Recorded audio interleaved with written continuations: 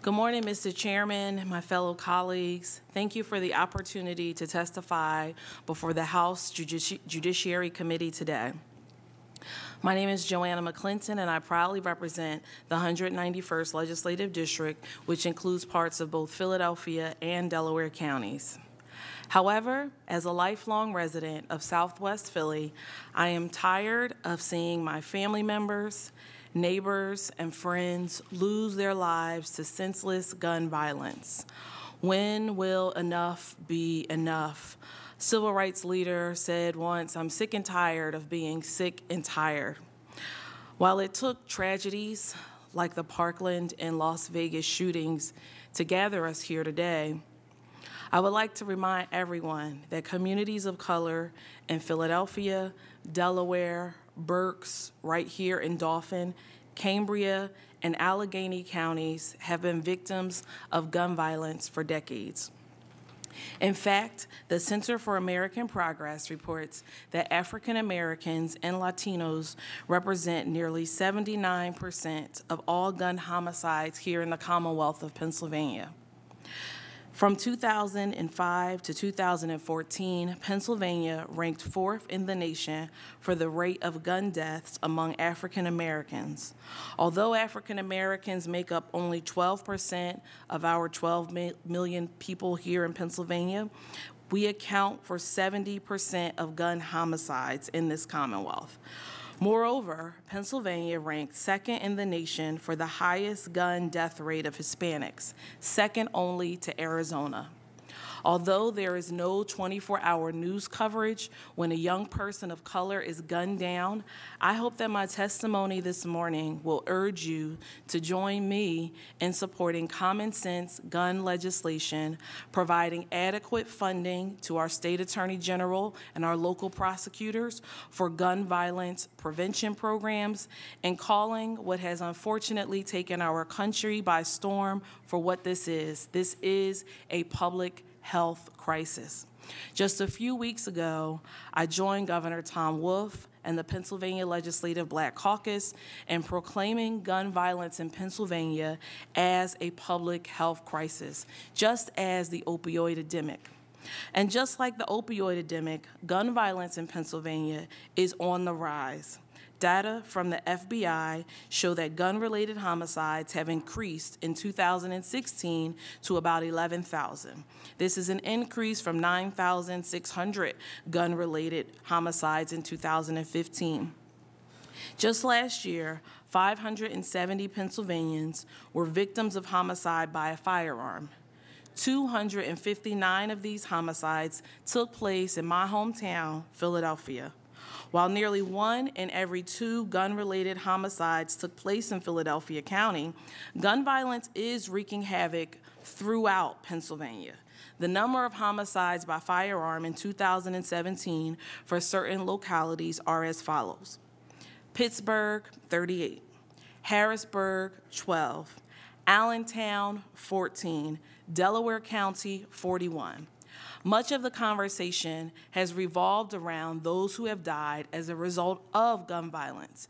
We often forget to pay attention to those who are survivors and the families of those affected. In Philadelphia, in 2016, the total number of shootings, both fatal and non fatal, was estimated to be 1,279 people.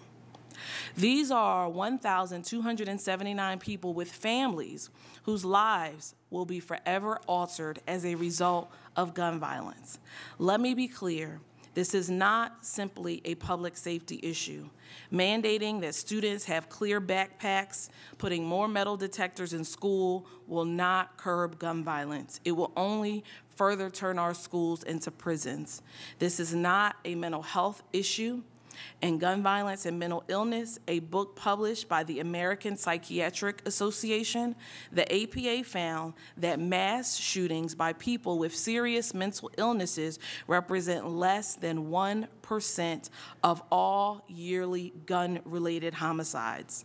Moreover, they found that people with serious mental illnesses contribute to only 3% of violent crime.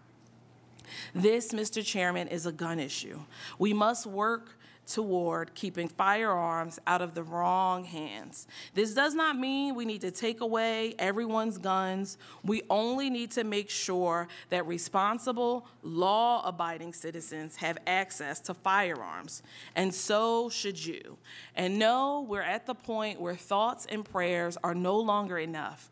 We need sensible solutions that will save lives. They include advancing the following pieces of legislation from this committee so that they receive the floor vote they deserve.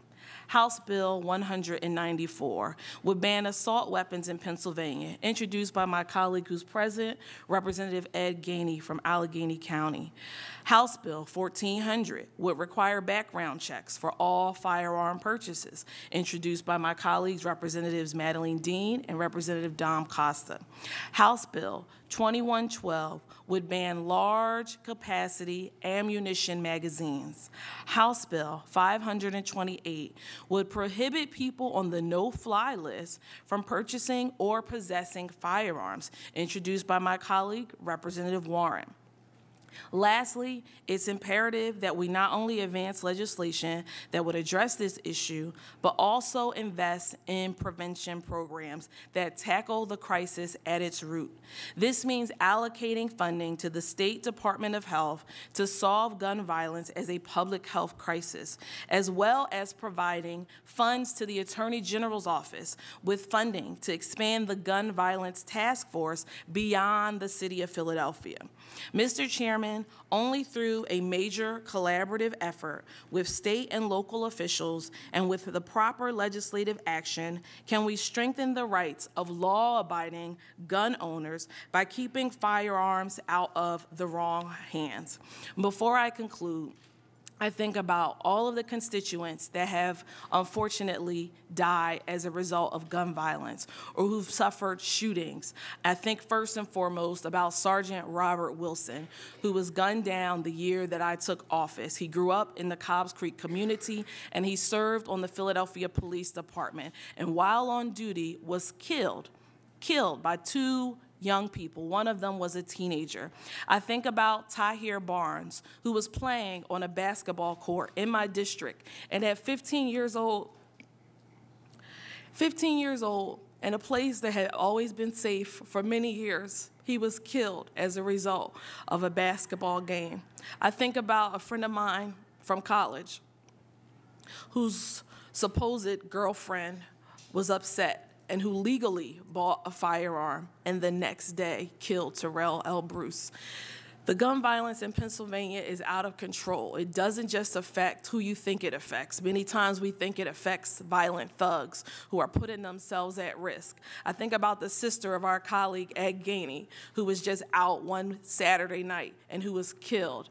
This is serious, it's out of control, and it's incumbent upon us that we take responsibility. We can't just sit by and let people get killed, let people have access to firearms, not take the illegal handguns off the street street. My mom says she thinks all the illegal handguns are in Philadelphia because every time we turn on the news, someone else is getting killed, someone else is getting shot, someone else is getting robbed with a gun.